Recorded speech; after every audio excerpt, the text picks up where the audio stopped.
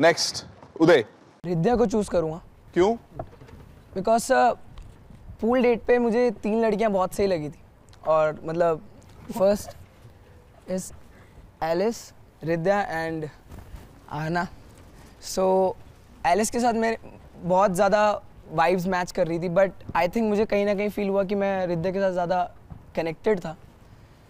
सो या that's why alright गो गेरा